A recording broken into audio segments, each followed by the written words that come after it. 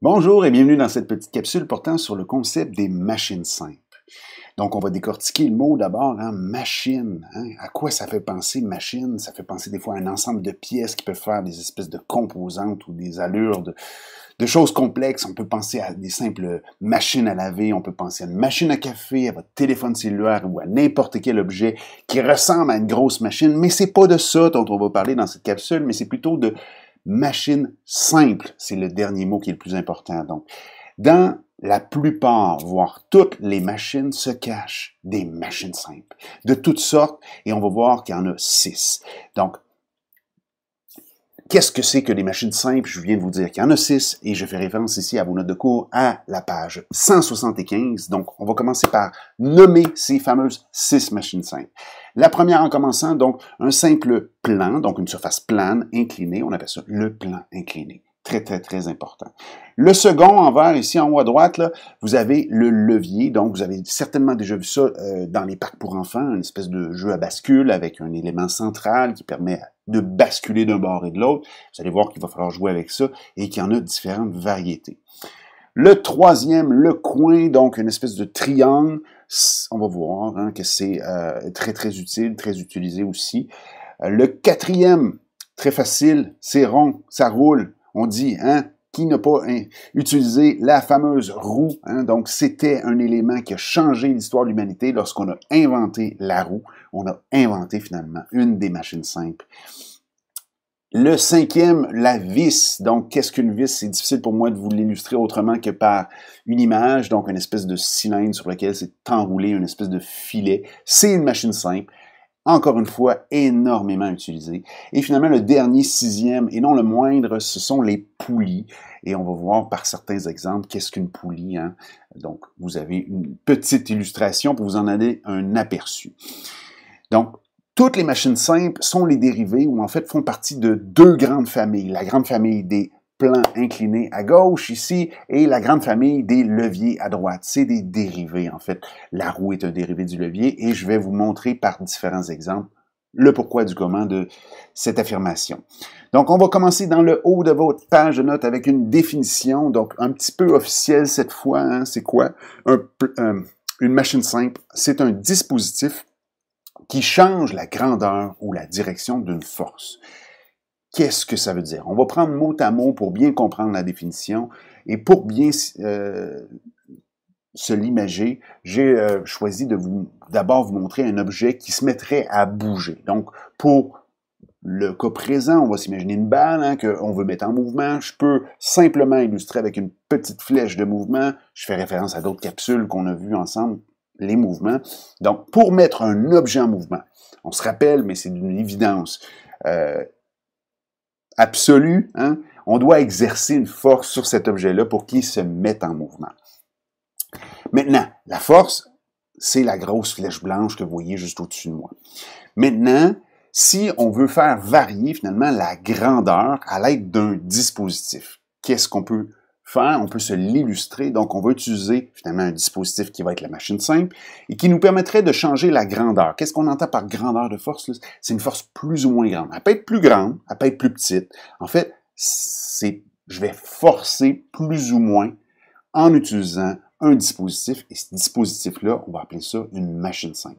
Pour faire le même travail, c'est-à-dire mettre la balle en mouvement. Et je pourrais aussi utiliser un autre exemple, hein, c'est-à-dire forcer dans une direction totalement opposée, hein, c'est la deuxième partie de la définition, changer la direction. Donc, je pourrais utiliser un dispositif, une machine simple, qui me permettrait de forcer dans le sens totalement opposé de l'usage normal qui voudrait nous mettre à, nous permettre de bouger la balle ou l'objet dans une certaine direction.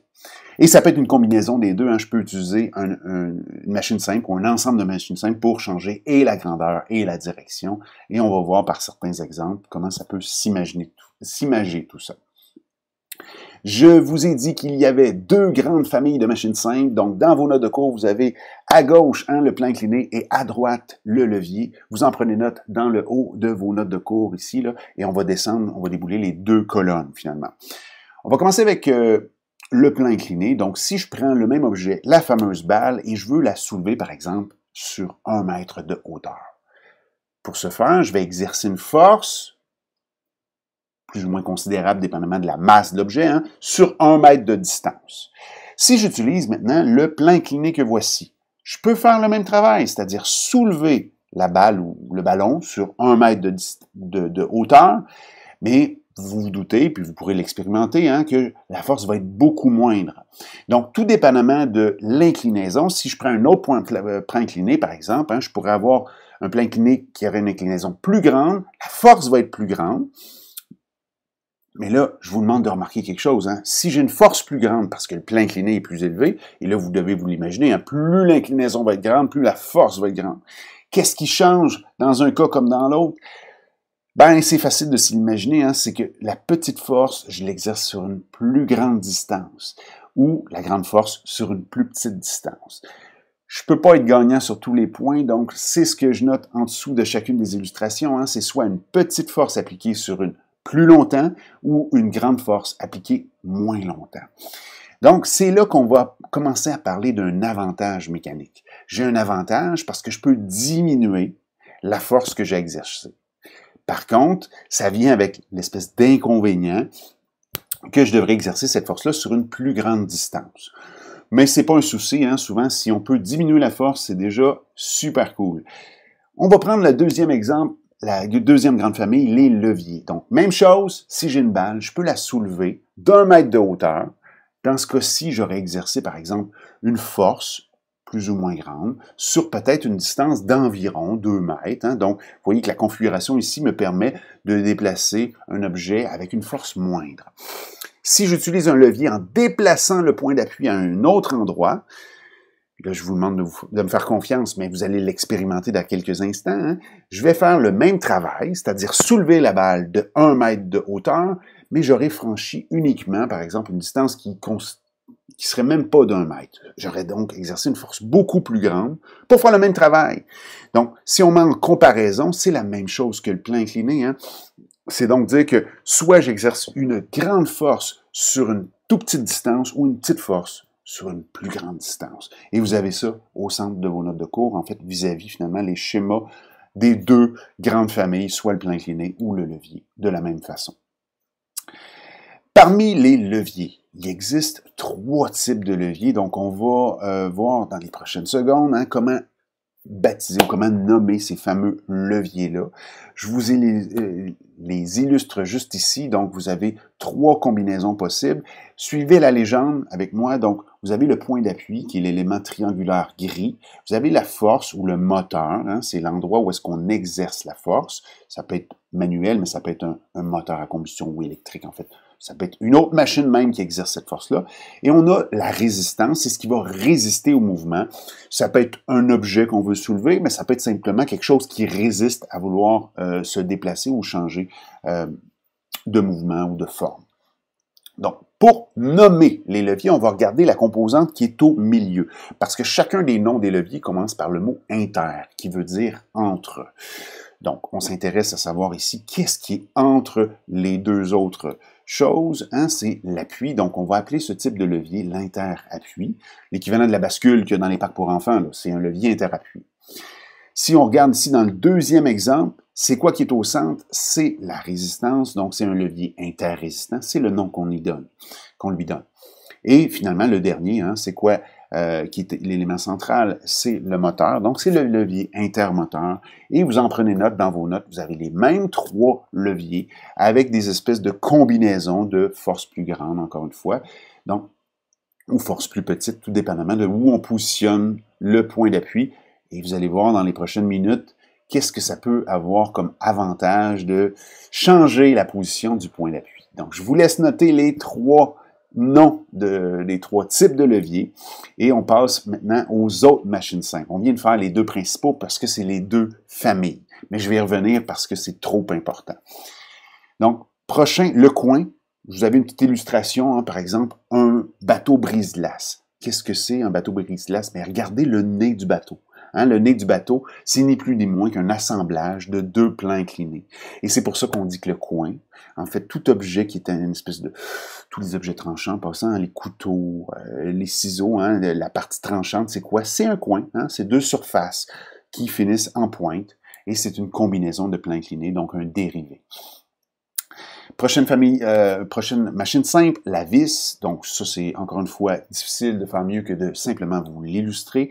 Mais là, cette fois-ci, je, vous porte à votre attention, hein, les filets, la portion en rouge que vous voyez là, c'est l'équivalent, dans le fond, d'un plan incliné qu'on a enroulé le long du cylindre qui compose la vis. C'est pour ça que c'est encore une fois un dérivé du plan incliné parce que les filets sont hein, simplement une enroulade et c'est un usage qu'on va faire. Et il va falloir en fait parler dans d'autres capsules de d'autres machines ou de d'autres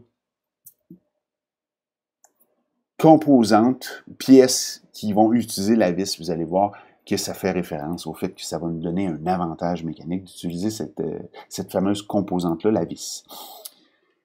Euh, avant-dernier, maintenant, la roue. Donc, la roue, c'est un dérivé du levier. Des fois, c'est pas évident à, visualiser. Je vous, je vous mets une illustration juste ici. Donc, si on prend le levier intermoteur, c'est le meilleur moyen de s'illustrer pourquoi la roue, c'est un dérivé du levier. Simplement parce que l'élément central, c'est l'appui. L'essieu, donc la composante centrale d'une roue, qui est souvent le moyeu aussi, c'est un synonyme, euh, c'est là qu'on va exercer la force et la résistance, le caoutchouc, l'extérieur de la roue, c'est ce qui résiste au mouvement hein, pour avancer ou pour faire bouger un véhicule. Donc, il se trouve que la roue, c'est un dérivé puisque l'essieu, finalement, ça joue euh, office de la troisième composante dans le levier. Donc, vous pouvez en prendre note dans le bas de vos notes de cours. Et la dernière machine simple, la poulie ou les poulies. Vous avez une petite animation que j'ai tenté de faire pour vous ici. Donc, la poulie, c'est le meilleur exemple pour visualiser comment une machine simple, par exemple, peut me permettre de changer la direction. Parce qu'on a le meilleur exemple ici. Je peux vouloir soulever une masse en exerçant une force vers le haut. Mais vous imaginez qu'ici, le, le, petit garçon exerce la force vers le bas. Donc, le dispositif poulie, dans ce cas-ci, c'est une poulie fixe, en fait, lui permet, c'est une poulie sur laquelle on va faire enrouler un câble ou une corde, permet de changer la direction de la force. Pas l'intensité, pas la grandeur. Il va forcer autant, mais il ne va pas forcer dans la même direction. Par contre, si on change, puis on combine des poulies, là, vous avez ici une belle poulie mobile. Donc, la poulie ici qui se déplace permet dans cette configuration-là, avec une poulie mobile, de diminuer la force littéralement de moitié. Et ça, c'est la puissance des poulies. On peut en mettre autant qu'on veut pratiquement et vraiment venir avoir un avantage mécanique, encore une fois, diminuer la force. Mais, encore une fois, hein, je ne vais pas gagner sur tous les points puisque je devrais exercer cette petite force-là sur une plus grande distance. Je devrais tirer deux mètres de corde pour soulever l'objet d'un mètre, par exemple c'est des détails. On pourrait en venir à des calculs, mais c'est pas l'objet de cette capsule. Vous avez juste à prendre note dans le bas de vos notes, là, hein, la poulie, qu'elle soit fixe ou mobile, c'est la dernière des machines simples. Je vais enchaîner avec un, paquet d'images dans lesquelles vous devrez repérer les machines simples parce que c'est l'une des choses qu'on va vous demander de, retenir, c'est d'être capable de repérer l'une ou plusieurs de ces fameuses six machines simples. Si on prend la brouette hein, que vous voyez juste au-dessus de moi, vous devrez être en mesure de voir de quelle machine simple il s'agit. Donc, je vous aide un petit peu. On va passer en revue quelques images en rafale. Donc, ici, on a par exemple la roue qui est le point d'appui. Bien entendu, il y a la roue, là, mais là, on va parler juste de la brouette. La roue ici, c'est le point d'appui. Ce qu'on transporte, c'est la charge. Et l'endroit où est-ce qu'on soulève, c'est la force. Donc, on a un beau levier, un bel exemple de levier. Les escaliers, peu importe lesquels, sont simplement l'usage d'un plan incliné avec des espèces de surfaces qui vont nous aider à grimper à différents étages. La hache, c'est simplement un coin. Je vous ai dit tantôt, hein, tout objet tranchant, ce sont des coins. Un, ciseau, une paire de ciseaux, c'est quoi? Hein, c'est quoi? C'est simplement euh, une combinaison de deux leviers, simplement. Tous les objets roulants, j'espère que vous êtes en mesure aisément de voir qu'il s'agit de roues. C'est une machine simple extrêmement utilisée. Si vous voyez euh, des espèces de câbles avec des roues, on va parler de poulies à ce moment-là. C'est peut-être l'élément nouveau cette fois. Tous les euh, toits avec des pentes. C'est quoi les pentes? C'est des plans inclinés. C'est utilisé abondamment dans les pays nordiques, par exemple. Hein, lorsqu'on veut diminuer la force qui va être exercée sur la structure, on va incliner davantage le toit, donc l'accumulation de neige va répartir la force. Euh, c'est l'usage du plan incliné. Un marteau, lorsqu'on veut arracher quelque chose, un clou ou autre chose, hein, c'est un levier, on a un point d'appui, on tire, c'est la force et on a une résistance, notamment l'élément qu'on cherche à retirer, c'est simplement un levier. Même chose, les rames d'une barque, ce sont des leviers. Hein. Vous devrez être capable de voir la résistance, le point d'appui, la force. Donc, c'est aussi des leviers. Un gouvernail de bateau, c'est simplement un autre usage de la roue. Et toutes les pentes pour euh, personnes à mobilité réduite, ce sont simplement des plans inclinés. C'est des exemples. On, peut on pourrait en défiler beaucoup d'autres. Essayez d'avoir de plus en plus l'œil pour les repérer. Je vais euh, faire une expérience avec vous. Je vous demande vraiment d'appuyer sur pause et d'aller chercher des éléments. Je vous montre euh, ici une expérimentation qu'il faut effectuer pour bien comprendre la suite des choses. Donc, meilleure chose que vous êtes certain d'avoir à la maison, hein, une boîte de conserve, une canne. Donc, ça peut vous servir de charge. Hein. Donc, dans l'image ici, vous avez une charge, une boîte de conserve. Ça va vous servir. Deuxième chose, allez se procurer une surface plus ou moins rigide, utiliser une bande dessinée, un livre, Hein, une surface assez rigide, ça va vous servir dans le fond de euh, l'élément plat ou plane du, euh, du, levier. Et finalement, un simple crayon qui va vous servir euh, d'appui au centre. Donc, si vous avez votre main qui va être le moteur, vous pouvez vous configurer un beau levier interappui comme que vous voyez au-dessus de moi. Appuyez sur pause, allez chercher les choses pour vrai, ça va être important pour bien sentir la différence. Je repars à l'instant. Donc, on peut configurer avec les mêmes éléments les trois types de leviers qu'on a vus ensemble. On vient de voir le levier interappui, vous allez mettre le crayon au centre.